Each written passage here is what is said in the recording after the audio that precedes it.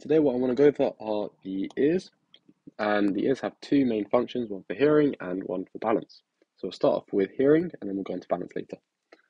So the ears have three kind of main components. So first the outer ear, then the middle ear, then the inner ear. And starting off with the outer ear, then we'll go to middle, then we'll go to inner, and see how the different components work. So firstly, the outer ear kind of consists from what you look at an ear, when you can see it on someone's head, this bit kind of here, and then the tube here. Then you've got the middle ear, which is these kind of bones and stuff, and then the inner ear, which is a lot of stuff kind of happening over here. So we'll take it one by one. So starting off, here's my attempt at drawing an outer ear, or what you see with an ear. And if we just label it, each part kind of has a name. So overall, this whole thing is called the auricle. That's what you see. Um, if I just write that down, auricle. Um, yeah, I don't know if it helps. Oracle and oracle are two different words, but maybe it helps you remember that uh, in Greek mythology, the Oracle of Delphi, the oracle that kind of told prophecies and you'd hear them. I don't know if that helps you remember it, but they're not the same word, so I'll get rid of it. So starting off with kind of labeling it, your ear kind of has funny shapes. The way that that works is because sound is a wave and it just is a longitudinal wave and it just helps and makes the sound come in as best as possible basically. Hence all of the weird bumpy shapes and stuff. And each one have a name for you to remember. Try keeping it simple. So this one here is called helix. And then you've got helix you're going to have an anti-helix. Then you've got this bit here which is kind of the flappy bit that you feel just there, which is called tragus. And if you had a antihelix to your helix, you're to have an antitragus. This kind of thing there, that's called the external acoustic meatus. So external acoustic meatus, external meaning outside, acoustic sound, meatus just meaning tube. And obviously, if you have an external one, you're going to have an internal one. The internal one's obviously inside and that has the cranial nerves going through them. So we'll go through them. So one is the facial nerve, which is cranial nerve seven, and then cranial nerve eight, which is the vestibulocochlear nerve, also goes through. That's made up of the vestibular, so that's related to the balance of the hearing, and then the cochlear, which is related to the sound. And we're doing the sound right now. Um, and then overall, kind of this bit here is called the concha. Because that's kind of like quick overview of what there's more to labeling it, but that's just like the simplest way of kind of going the key main points. Um, you can also divide the ear into quadrants like that. Make it a bit thicker and you can see it there. Okay, you can divide it into quadrants and they have different sensory supplies. So this bit up here is like C2, that's like the lesser occipital nerve. Here, this bit is like V3, so that's the mandibular branch of the trigeminal nerve, so V3. This bit here is C2 and C3, so the spinal nerves. And this bit here is the facial, cranial nerve 7. Uh, you also have like going like deeper into like the external acoustic meatus and kind of around the ear uh, facial and vagus branches kind of like innervate the deeper aspects of the auricle and the external acoustic meatus. That's why people might cough if you put if they put their finger really deep inside their external acoustic meatus. And that's because the, the cough vagus nerve also innervates the back of the throat. So that's also getting activated. So that's basically that uh, in terms of the ear. If I don't now get rid of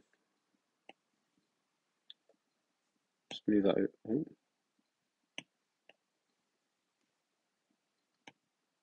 I'll just move over there and quickly draw a small diagram. So once you continue past, that's what we've done so far, and now we're going deeper in here. Now, what you're going to first thing, first thing you can see is the eardrum, or the tympanic membrane. So what you're going to see with that is basically a sheet. It's very like you can see light through it. So and then you're going to see this kind of shape there. So what you're going to see is this bit here, this bit that I've kind of drawn is like bone. So this is the lateral process. This bit here is the handle. And this bit here is the umbo. And this is made up of the malleus. I'll get onto the malleus, but it's one of the bones coming up next. What you also have is kind of a cone of light. So when you're looking inside someone's ear, you'll be able to see this. Cone. And then the rest of this bit is just called a pars tensa. And that's basically what you'll be able to see. So let's now just kind of get rid of all of this. Oh. And then go on to the middle ear. So now what we're looking at is this word. This word, the ossicles. That's made of three bones that we'll look at here. So middle ear, like I said, main three bones you need to know are the malleus, incus, and stapes. Malleus here, incus here, and then stapes, that bit kind of going there.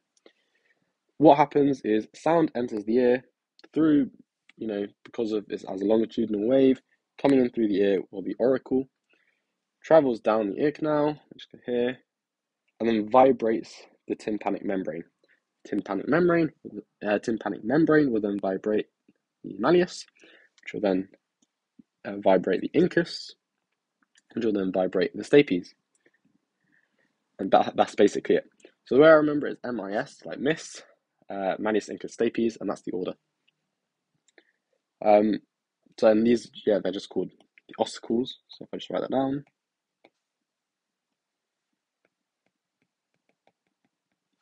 Which is just the ear bones.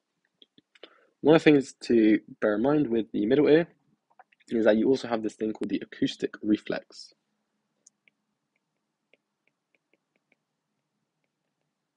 The acoustic reflex is basically a way for your ears to protect themselves when you hear a really, really loud noise.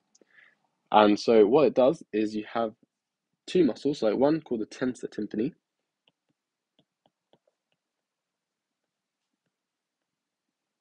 and one called the stapedius. So, like for example, um, yeah, hear really loud, a really loud noise. You want to prevent damage to your ear by hearing that really loud noise, because some, you know, if you hear a really loud noise, it hurts a bit. So your body protects itself from that, preventing damage to the ears. So what happens is the tensor tympani and the stapedius, these are just muscles that are connected to malleus, and stapedius is connected to stapes. Muscles innervated, so tensor tympani by the tensor tympani nerve, which is quite easy to remember, which is just a branch of um, from the mandibular branch, so V3, and then stapedius is connected to stapes, and that's innervated by the facial nerve. So, what you can then see is that if it's a really loud noise, they're innervated and they will then just pull on those nerves, preventing you hearing that really loud noise. And that's just what the acoustic reflex is. The other thing to bear in mind is that you have um, mastoid air cells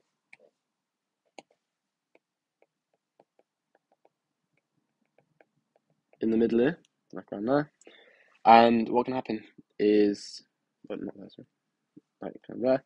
Um, these can get inflamed, and that leads to mastoiditis, which is inflammation of the mastoid air cells. Other thing you can see is this bit here, which is called the eustachian tube. The eustachian tube connects the middle ear to the nasopharynx, and what it does is it just equalizes the pressure of the middle ear to the external acoustic meatus. So when you go up in a plane, you probably notice a bit of pressure in your ear, and then like you might maybe like suck on a sweet, or you might try like almost like blowing your nose. What that does is just equalizes the pressure there. Um, yeah, one of the other things to bear in mind about the eustachian tube is that here you can see that it's at quite an angle like that. So this is probably for an adult. For children, it'll be a bit more like that. So it's uh, shorter and it's straighter. That means that they're more likely to get upper respiratory infections and also like um, middle ear infections, like because it's easier for microbes and stuff to get in. One another pathology to bear in mind for the middle ear is this thing called otosclerosis. So this is just the fusion of the um, ossicles, so the malleus, incus, and stapes. They just fuse. If they fuse together, that means they can't vibrate, which means that you're not going to hear. This is going to come up later for Rinne and Weber's test, and when you're trying to differentiate between like conductive or sensorineural hearing loss. Okay, let's go on to the inner ear. So the inner ear is basically made up of two kind of parts, and that is outer. Sorry, just get rid of that. That's wrong. Okay, so what you got? Here's the inner ear now. You've got this bit here, this bit here, and these bits here. So what we're going to look at first is this yellow one. This is called the cochlea. And then these two go together, and those are for balance, so vestibular. This is called the vestibule. And these ones are all called the semicircular canals. So what we're going to do is focus on the cochlea. So the way that the cochlea works, as you can see, it's this kind of like spiral shape thing. Uh, it can be a little bit confusing looking at this.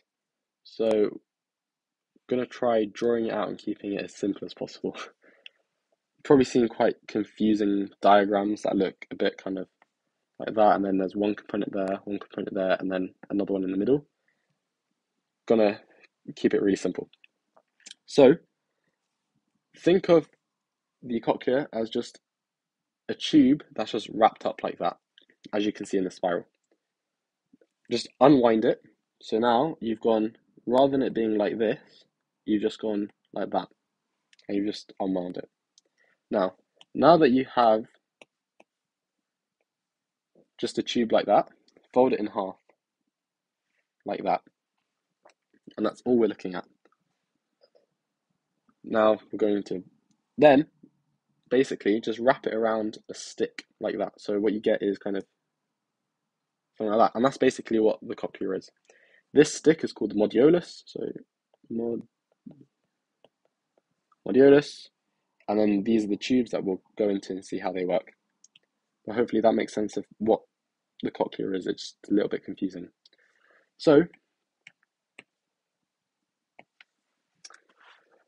If we redraw our tube in a bit nicer of a way,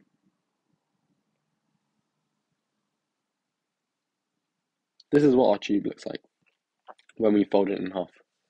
On one end here and one end here, you've got windows. Which way round does it go? This is the oval window. And this is the round window.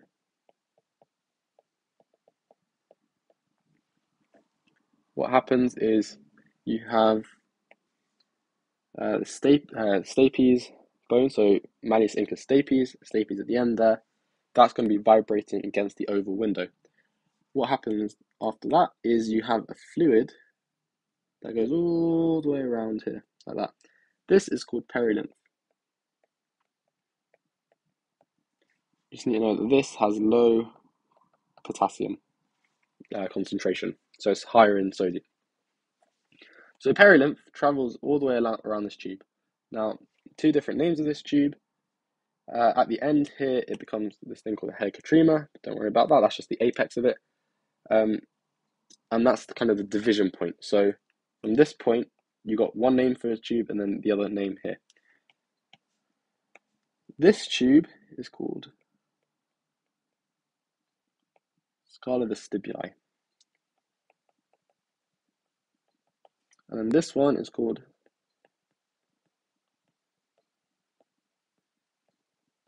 Scala Tympani. So that's how to remember that. The way I remember the difference between oval and round, which one comes first, is just by the word or. O R, like either or. Um, so then oval window, round window. And the way I remember the difference between scala vestibuli and scala tympani is the word that. So vestibuli and then tympani like that. Hopefully that helps remember it. We'll put it all together again though, see how it all kind of fits together. Okay, so what you now have is just vibrations going this way, and then that's just causing this fluid to be vibrating like that. But how does this help us here? Well, this is kind of where all of the complex stuff happens in this middle bit, the scala media, or like the cochlear duct. What you have is this thing here called the basilar membrane.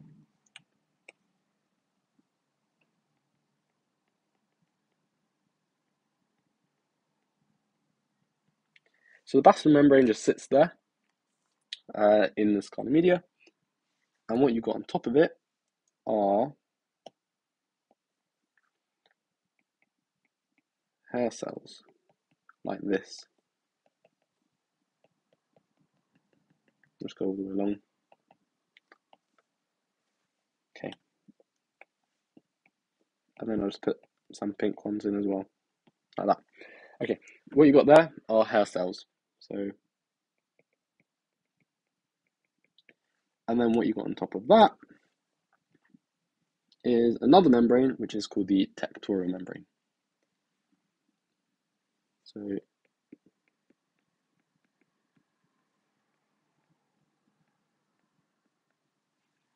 now basically what happens is as the sound is coming, or as the fluid, the perilymph is kind of flowing all the way through here, it's causing vibrations. That causes the basilar membrane to vibrate along here.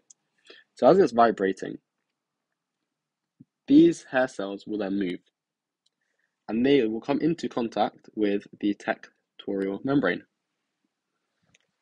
These will then kind of push on the hair cells and the hair cells will open and then if they open, ions can enter and then cause depolarization, sending off the signal to the cochlear nerve.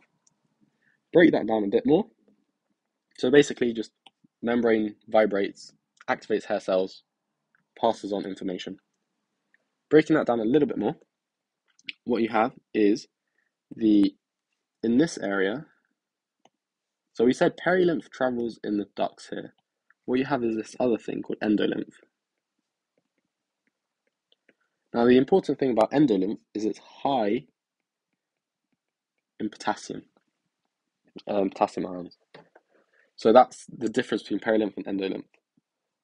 Um, quick sidetrack, actually. All of this kind of exists within the bony labyrinth.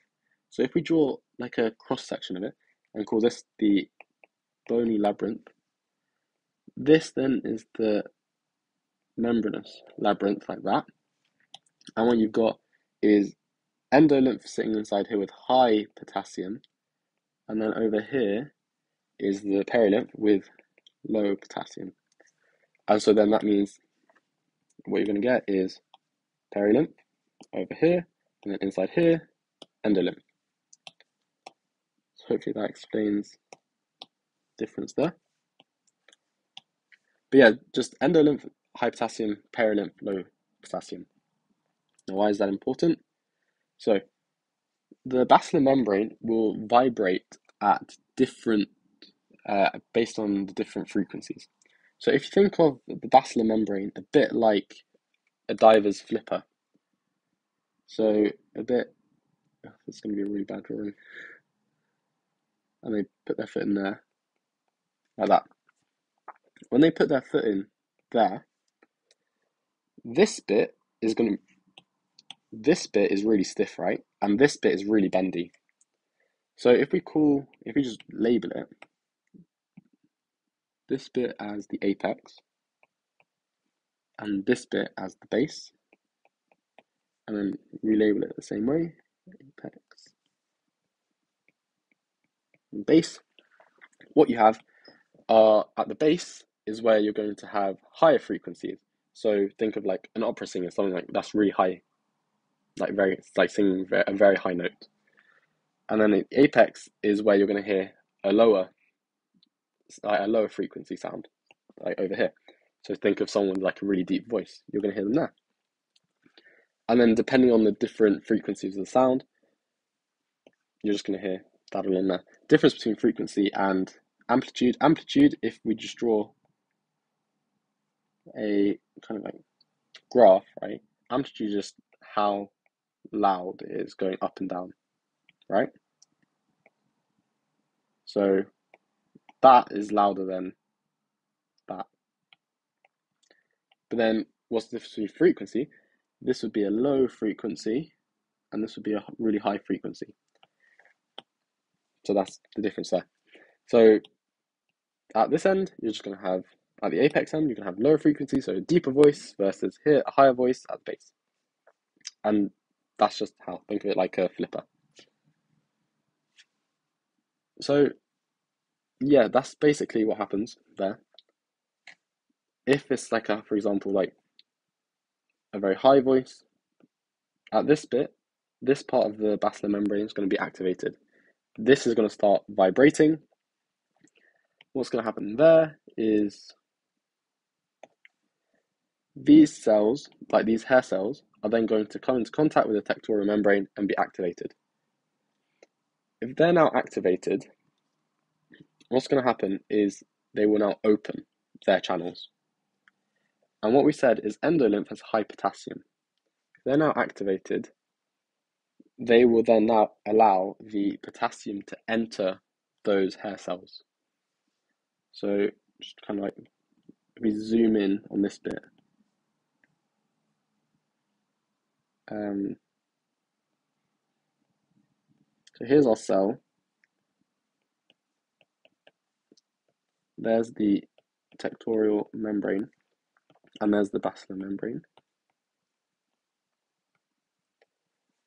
As you get vibrations, it opens. There's high potassium because of that's endolymph over here. That's now going to enter this cell because it's now been activated. This, how you get an increase of positives, this will now depolarize this cell. This cell is now depolarized, which means that's kind of more an action potential can happen versus hyperpolarization where no action potential can happen, right? Because now the gates open. The other thing that happens though is another ion enters, which is calcium. Now, what do you remember about calcium? Calcium is used for exocytosis. It's going to bind, bind to a vesicle, which contains glutamate. Glutamate is then going to be released, which is then going to activate the cochlear nerve. And that's basically how the and all of this is just called the organ of Corti, and that's basically how the organ of Corti works.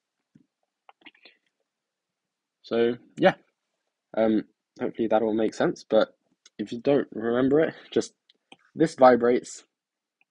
So does this? Oh well, no, the basilar membrane vibrates, activates the hair cells based on the frequency, uh, low and high, opens up the channels. High potassium from endolymph enters, so does calcium, activating the cell, and then it releases glutamate, activating the cochlear nerve. That information then can get passed on. What then happens next after the cochlear nerve? Well, this is where it gets. Oh, so first, actually, there's the reason why, going back to why I put two different colors for the hair cells. You've got two different types. You've got inner hair cells and outer hair cells. So, inner hair cells just go inner hair cells versus outer hair cells. Inner hair cells are passive. So as they kind of come into contact with the tectorial membrane, they'll just be activated. So the movement of the basilar membrane, so mechanical movement, will then cause an electrical transduction. So that will then go on to the brain. Versus the outer hair cells, these are now active, which is an electromechanical transduction. So the movement of the inner hair cells will activate the outer hair cells, causing them to then move. So it's electrical, then it's mechanical. Um, and basically, what the outer hair cells do is they just amplify the sound, and so it boosts your sensitivity to hearing. So then, uh, type one auditory nerve fibers synapse on inner hair cells, that's like ninety five percent, versus type two auditory fibers synapse onto outer hair cells, about five percent. Um, type one and type two auditory nerve fibers combine together, which then form the cochlear nerve. Yeah. Um, so just write passive and active. So outer hair cells just increase and amplify the sound that you can hear. Uh, outer hair cells can get damaged by like antibiotics, for example, like vancomycin and gentamicin. Um, if someone presents with this, like hearing loss when they're on these drugs, stop the drug. Um, this isn't medical advice though. Uh, so yeah, the sensitivity of the ear is then going to drop because you've damaged the outer hair cells, and then you just lose sensitivity. So what you then have is going back to the cochlear nerve. What happens next? Well, once you've got the cochlear nerve, where's it going to go to? It's going to go to the cochlear nucleus.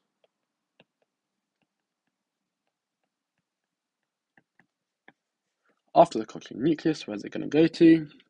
It's going to go to the superior olivary complex.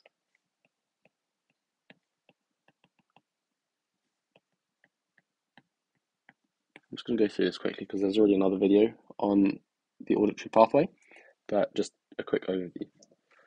So superior olivary complex, that, that's going to then go to the lateral lemniscus. And then from there, it's going to go to the inferior colliculus.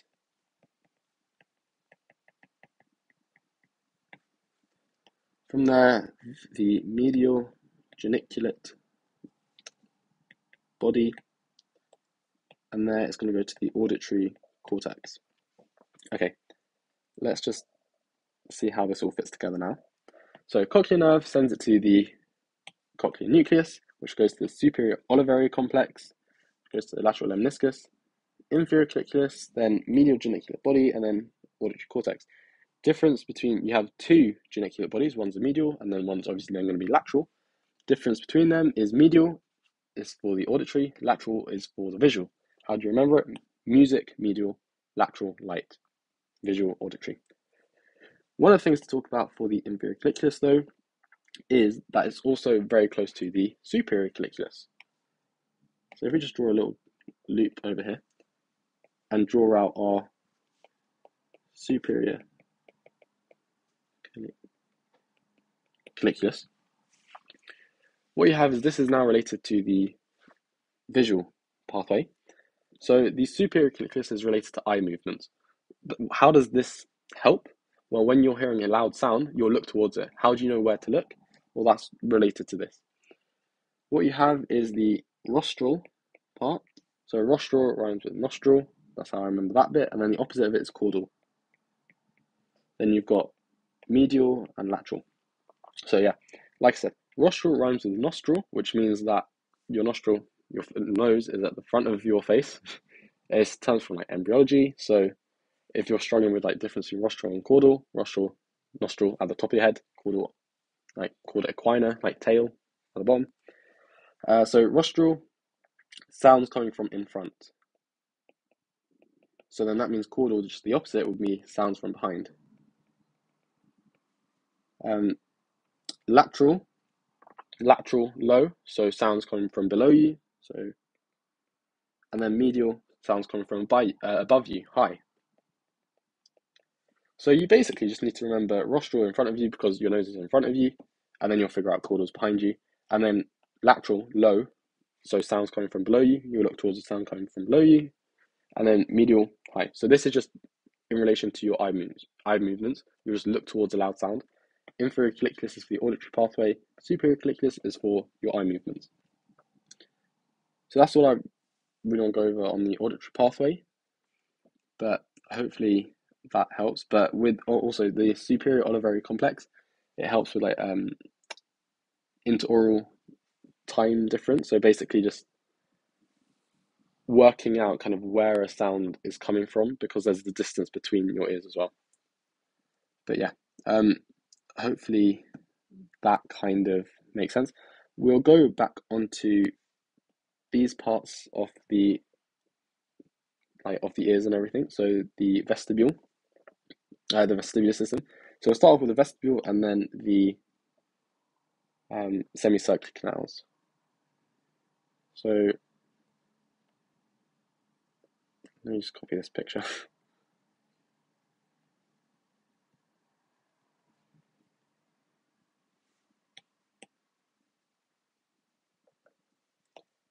okay.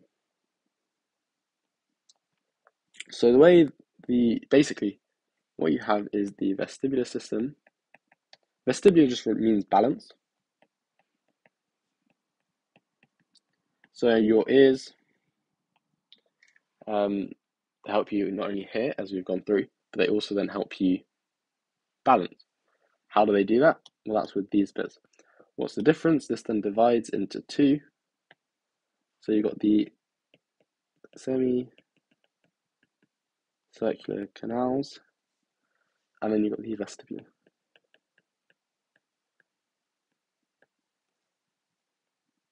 Vestibule we can divide into two bits as well. The utricle and the saccule. Overall, what's the difference between these two? Well, the difference is that the vestibule is for linear acceleration, while the semicircular canals are for angular acceleration. And what does that mean? Well, let's say it's basically just telling you kind of how you're moving. So linear acceleration, it's kind of you can go up and down. So let's say you're in a car, you're driving in one direction. Your head is stationary and you're just moving forward. Um, and then another way is, for example, you're in a lift and you're just going up. Your head is stationary, but you're you know that your body is going up, um, and you're accelerating. Angular is the semicircular canals. So the semicircular canals, you've got three of them, and then each one kind of corresponds to um, one of the different head movements. So you've got three different head movements. So if you shake your head side to side as though you're saying like no, that's one of them. Then if you're nodding as though saying yes, that's another one. And then the other one is if you try touching your ears to your shoulders, back and forward, that's the last one. So that's angular because like you're moving your head at different angles, while this, the vestibule doesn't. It's linear, head straight. Um, like I said, so linear, if you, like the example of a car versus a lift going horizontal or vertical, how do you tell the difference? So utricle and saccule, they work in the same way. There's just there's a difference between the vertical movement and the horizontal movement.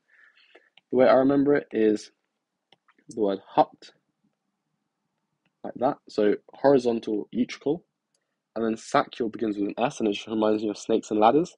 So in snakes and ladders, you've got the different stuff, and you've got a ladder kind of going like that, and a snake going like that, and you just go up and down. With the snakes and the ladders, just make you go up and down on the board. While hut, horizontal, utricle, so and snakes and ladders, saccule.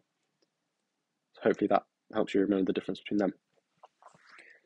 Okay, so going into, we'll start off with the semicircular canals. So if you think about the semicircular canals as tube like this,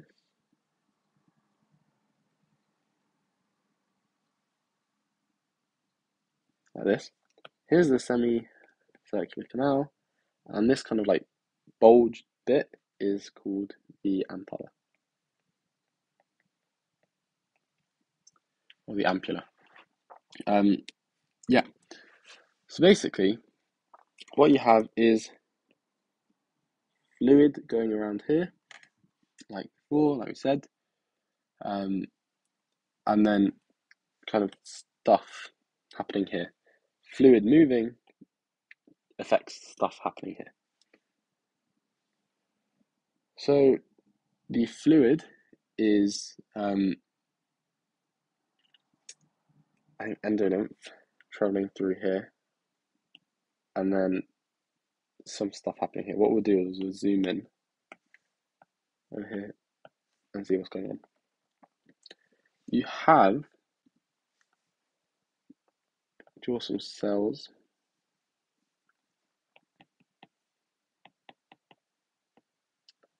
like this, and then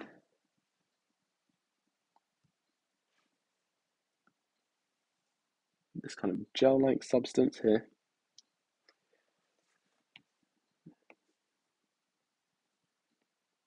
Okay.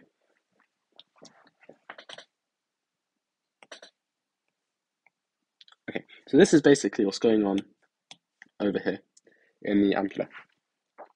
So what you have is this kind of gel-like substance, which is called cupula, which is yeah, gel-like structure, and then you've got these hair cells over here. So you've got two types, one called the kinocilia, and then these red ones called the stereocilia. There's more stereocilia than kinocilia.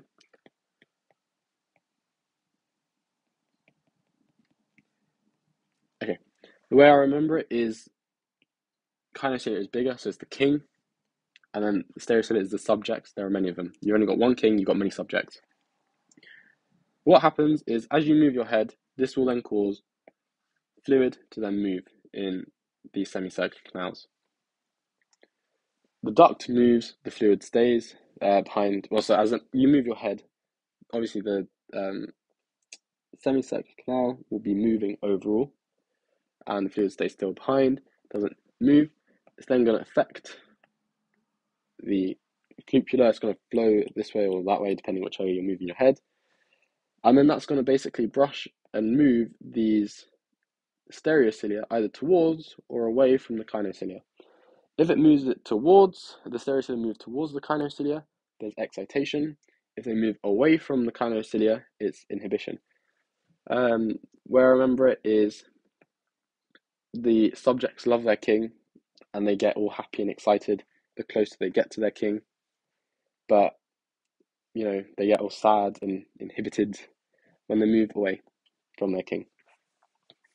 So yeah, um, if they're excited, then that information will then just be passed on to the vestibular nerve, and then that will then join with the cochlear nerve to make the vestibular cochlear nerve, cranial nerve 8, and that will go through the internal acoustic meatus. So like you got an external acoustic meatus, internal acoustic meatus as well. So hopefully that makes sense for the semicircular canals. Now with the vestibule, the way that, that works is in somewhat of a similar way, um, in terms of with like the hair cells and stuff. Okay, and then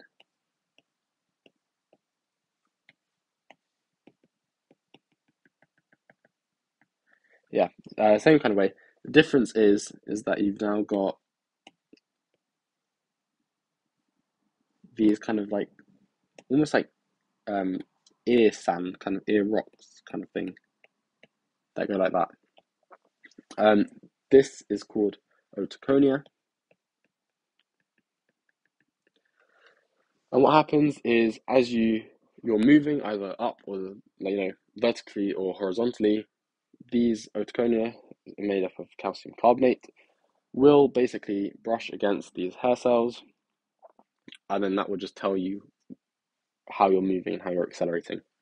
And that will then be passed on to the um, to the vestibular nerve. So that's kind of how the vestibular system works. What we'll do now is just go over the difference between Rinne's and Weber's test. So this is like clinically important, so and can kind of come up in exams quite easily. So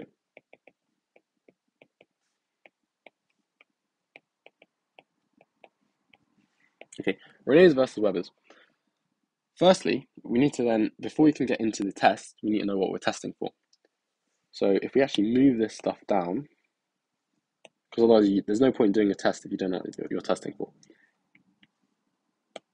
So there are two terms, conductive and sensorineural. So conduct, conductive hearing loss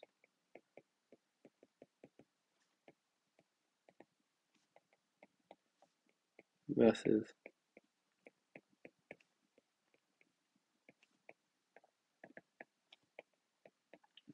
So conductive hearing loss is basically when there's damage to any part of the ear that's involved in transmitting sound waves. So this is like the external ear or the uh, um, middle ear. So for example, like otitis externa, so otitis meaning related to the ear, but inflammation of the ear because it's itis. Otitis externa, otitis media. Um, like I said before, um, otosclerosis, so the fusion of those um, of the bones, so malleus incus uh, earwax, or damage to the eardrum. Each of these will be conductive because the transmission of the sound wave isn't working for some reason. Sensorineural, it's basically when there's damage to any part of the ear involving transmitting the electrical impulse. So this is basically then almost the inner ear. So there's some kind of problem later down the line. So from um, the inner ear onwards, basically, it's some kind of wiring problem. That means that you can't hear anymore, or there's damage to your hearing. So an example of that is like Meniere's disease, uh, which is increased in like endolymph, and then you can test that with like an audiogram. So um, in an audiogram, you have like the normal baseline of zero decibels on the y-axis and then frequency on the x-axis. So kind of like that. That's what you've got for like um decibels, and then your frequency there. Um, normally, if that's like, sorry, I said that's normal at zero. That would be normal hearing. Anything that you go below here is when it's get worse, worse and worse and worse. So mild, then moderate, then severe, then profound hearing loss.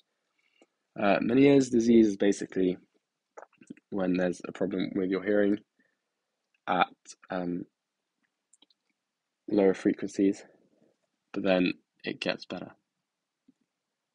So, yeah, so um, tumors pressing on the auditory pathways, for example, like um, acoustic neuroma. Uh, antibiotics damaging the hair cells, so that's the outer hair cells, can be sensorineural uh, damage to cranial nerve 8 as well. So yeah, this is basically the difference between conductive and sensory. So now we know what we're testing for. Conductive, basically damage to, for example, just like the transmission of the sound waves versus sensorineural transmission of the electrical impulses. So now we know what we're testing for. Let's figure out what the difference between Rinne's versus Weber's is. So the way I remember Rinne's is, is ring Rinne. So where do you put a phone? I think of like an old kind of phone. Um, you put it next to your ear, right? So that's basically where you're going to put your tuning fork. So you're going to put, well, you're going to use a 512 hertz tuning fork. Tuning fork. Um, what you're going to do, you're going to bang the tuning fork in your hand or you're going to pinch it, you're going to make it vibrate.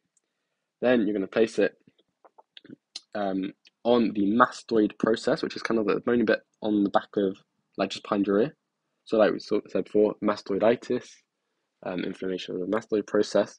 Um, just Google a picture of what the mastoid uh, process looks like.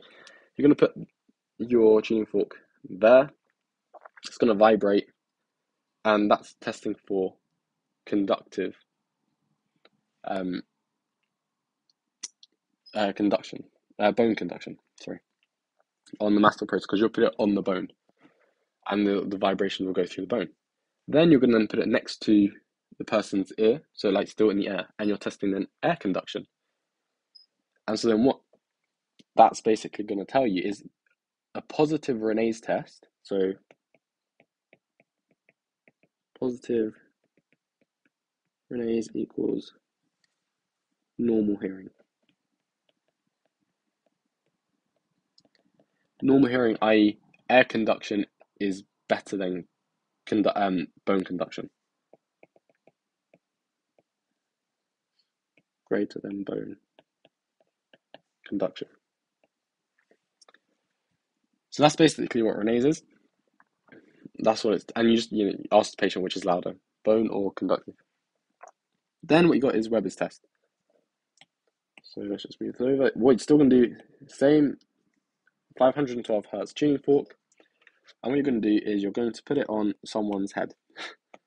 so if we draw someone's head like that, and say their ears are there, You then get the, your tuning fork like that, and put it on, make it vibrate, put it on their head, um, and it's now vibrating. The way I remember this is it kind of makes you look like a Teletubby. I don't know why, so hopefully that will make you remember where to put your tuning fork, make you look like a Teletubby, put it on your head. Um, the way I remember it is Weber's begins with a W. So if you're testing your ears, you've got two ears and then you've got the tuning fork on your head. So it goes like that, which forms a W. So Weber's test, and then ring Rinne, you're putting it next to the ear. Um, yeah. So then, if we, how does Rinne's work? Tuning fork vibrating, putting it on the head. Normal hearing should be it's equal both, like in both ears, sound heard equally loud. That would be positive Weber's test. Negative is when there's some kind of problem. So let's say in this ear, the patient says it's louder. Now, there are two possible reasons why it could be louder. The first reason is this you put it now, the tuning fork on someone's head. So it's on their bone, which means that there's bone conduction. That bone conduction will vibrate down here and appear louder. So the first one is bone conduction in louder ear. So it's just amplified there, right? Um, now, what's the other reason why in this ear it could be louder? Because also, yeah, so this ear is air conduction isn't working for some reason. You need to then figure this out using Rinne's test. So you need to use them both together. Um, air conduction isn't as good as bone conduction. It works better on bone conduction, so it's more sensitive. It picks up more sound through vibration. That's the first reason why this ear could be louder. The other reason is is that there's a problem around here. So there's a sensorineural hearing loss on the opposite ear. So for some reason, and you'll need to investigate why, the sensorineural sensory neural hearing loss in the opposite ear. What this means is that this ear will appear louder, not because this ear's got any damage or anything, it's just because this ear, the wiring that's going to send it off to the brain, isn't working. So that's why everything's going to appear louder in here, and there's a problem here. That's why you now need to do Rinne's to figure out where's the problem. And you need to do Weber's with Rinne's and Rinne's with Weber's. So they go together. So the second reason is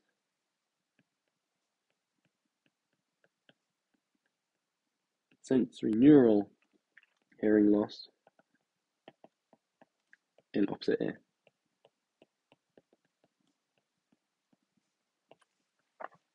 Yeah. So that is now Rinne and Weber's test done. Um, we've covered quite a lot. um, what I want to just go back to quickly is this kind of stuff, starting basically from how sound enters. So we know that sound enters going into into the ear canal with the tympanic membrane. That's fairly simple. Then it starts to get a little bit more harder to remember what happens with in the middle ear to the inner ear and then from the inner ear to the auditory pathway. So what we're going to try doing is coming up with a way to remember it. So the way I remember it is, let's get rid of this. The way I remember it is miss or vet and then it's E. coli MA.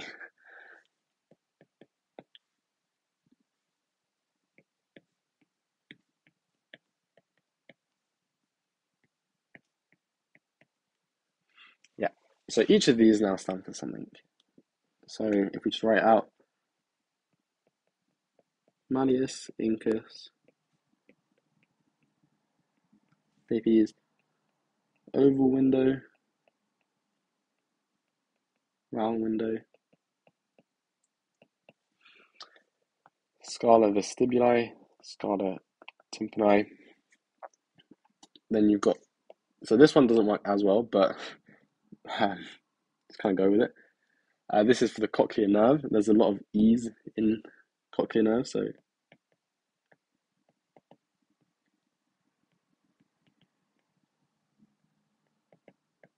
so there's a lot of ease, hence that.